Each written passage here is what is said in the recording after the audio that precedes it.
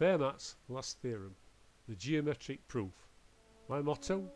Plain honesty, simple truth, easy understanding.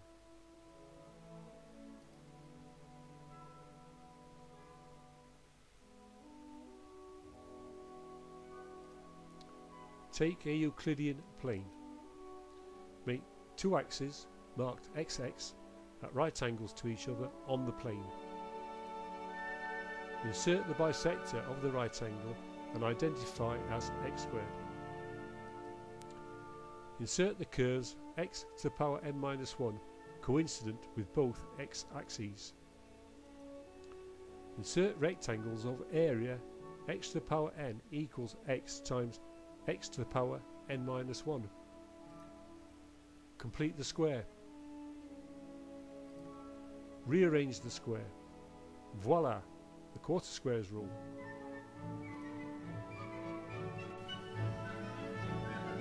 The quarter squares rule. We can easily see, without any great mathematical acumen, that the side of the larger square has dimension x to the power n minus 1 plus x and that of the inner square dimension x to the power n minus 1 minus x separated by four rectangles of dimension x to the power n minus 1 times x. Hence x to the power n minus 1 plus x all squared minus x to the power n minus 1 minus x all squared equals 4 times x to the power n minus 1 times x equals 4 times x to the power n. Simplify x to the power n minus 1 plus x, all divided by 2, all squared, minus x to the power n minus 1 minus x, all divided by 2, all squared, equals x to the power n. Therefore, a divided by 2 squared minus b divided by 2 squared equals x to the n, the simpleton proof, QED. I have repeatedly stated that the equation is not a rule but a theorem as per Euclid's Elements, Book 2, Proposition 8.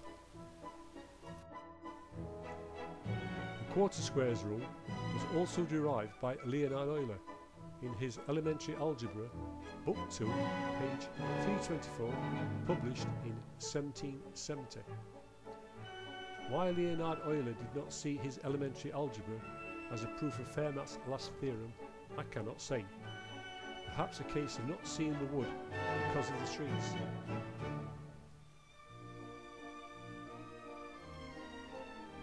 Despite the simplicity of the graph, it is self-evident that it is applicable to every x raised to every power n greater than 1, proved to infinity. Since each power x to the power n equals x to the power n minus 1 times x is present as a curve of degree n minus 1, it is testament to the fact that the infinitesimal rate of change of all power curves is given by a times x to the power n minus 1 and only ever equals x to the power n at one point which is when a equals x.